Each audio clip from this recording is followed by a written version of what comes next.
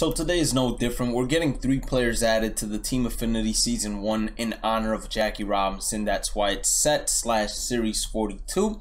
Today we get from the Minnesota Twins, Jose Berrios.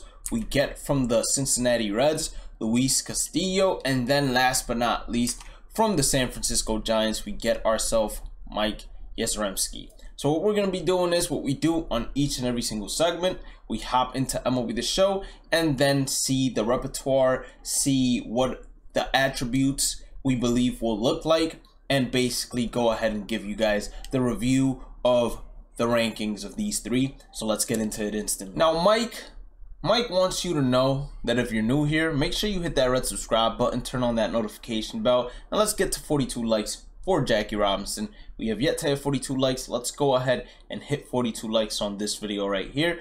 Click on the channel, more Bhlademyst, subscribe to my other two channels, and then follow me on all socials, which are listed above me. Now, Mike, I believe out of every hitter we've seen so far, he's going to be the most balanced hitter, most likely going to be the most balanced player where he's going to have good enough contact, better than good enough contact, honestly. He's going to have great contact, good enough fielding, good enough speed.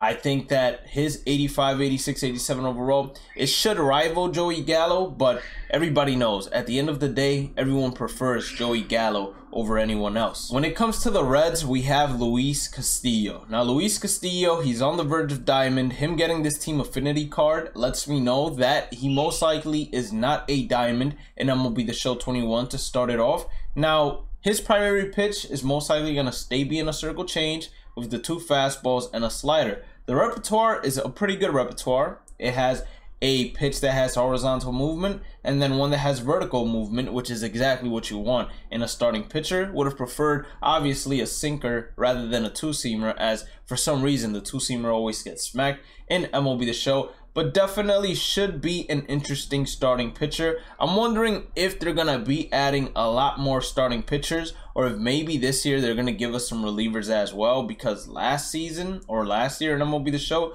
we got no relievers from the team affinities. It was mainly starting pitchers. Last but not least, we have Jose Berrios who dropped all the way down to a silver last year. He's looking to bounce back this season.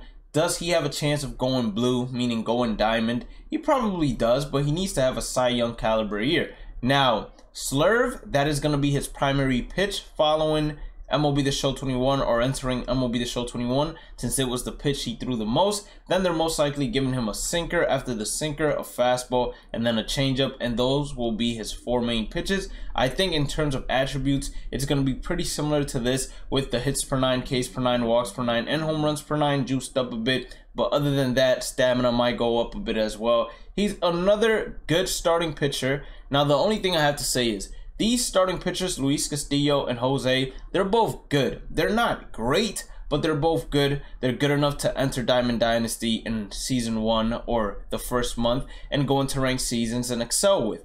Now, are they going to be good long term? Jose Berrios? Most likely not. Why? Because his fastball is only 93 92, and then his off speed pitches are both vertical movements. So, a good hitter is going to know anything he throws slow is going to drop. So I just got to move my PCI down and slow down my swing. And then this fastball being 93 to 92 is not going to overpower you. So for Jose, we have him at number three out of the three dropped today. At number two, I'm going to go ahead and put Mike Yastrzemski just because you already have Joey Gallo in right field. And with the emphasis they made on fielding and playing players in secondary positions, I think that you're most likely going to go ahead and keep Joey Gallo in right field and not try to move him anywhere or try to move Mike Yastrzemski anywhere as you will most likely get better options such as Ken Griffey Jr. for center field and then in left field who knows what we have left and then coming in at number one is going to be Luis Castillo. Why? The changeup, great pitch. Slider, great pitch. You got vertical and horizontal movement. But the most important thing, especially when you get into the later difficulties or the latter difficulties, is his fastball is over 97 miles per hour. So what that's going to allow you to do is overpower hitters, which is the most important thing when you get to Hall of Fame and Legend difficulties. But that's going to be it for today. We're most likely going to have another video coming out, another prediction for the five legends that are going to be revealed tomorrow. So make sure you all stay tuned for that. As always, make sure you guys go ahead and hit that like button. We're aiming for 42. Hit that subscribe button if you're new here. Turn on that notification bell for all notifications. Follow me on all socials. Click on the channel More Bhlademyst and go ahead and subscribe to those other channels. And as always, have a blessed day and night. Stay positive, stay safe, stay blessed. And I'll catch you all in the next one. Peace out.